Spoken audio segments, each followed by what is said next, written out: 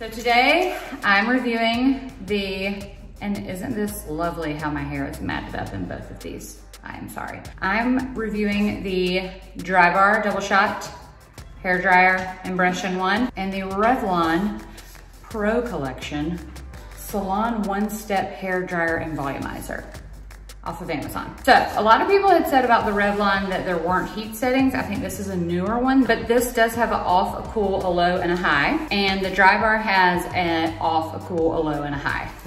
Um, weight-wise, you can't really tell the difference.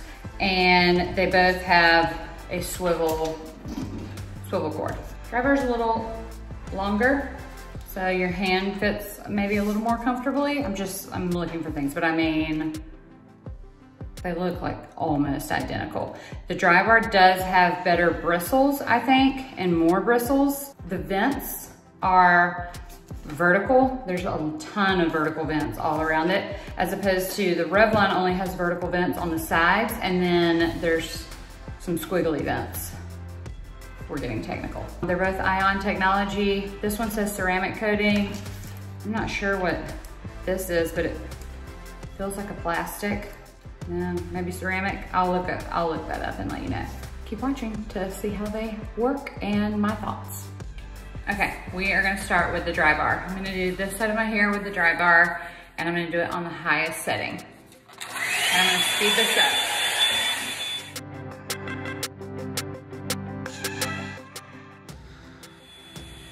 Okay, that took about two minutes. Okay, so now we are going to do the Revlon.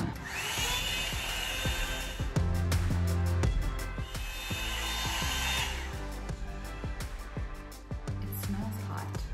I don't know if that's like the rubber or the plastic or my hair in there. Okay, this one does have the two settings like I mentioned. This is low. That still smells kind of hot.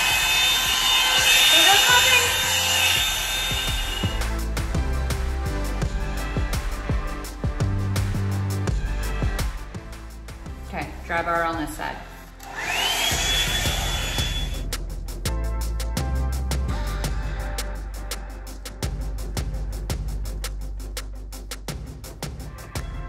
All right, now we're gonna do the red one.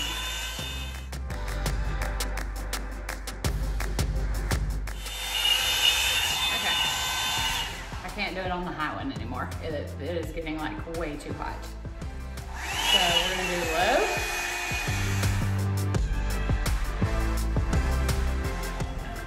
All right, we have Drybar on this side.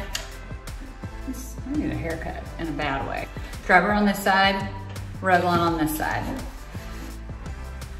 I can't really tell enough difference in my hair to warrant one versus the other. The Revlon side does take a little longer maybe how the vents are placed. Does it terrify me that it smells like burning plastic? Yes. Did it get too hot? Yes. So to me, that kind of defeats the purpose of having like a two-in-one to save time if you're gonna need to do it on low.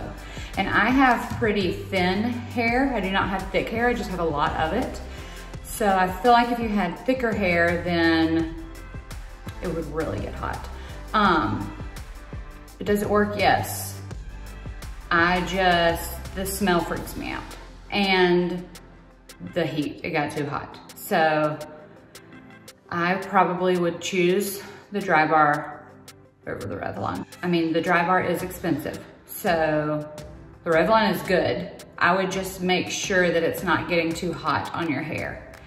And I don't know, maybe the smell wears off. I'll keep using it and I'll update you.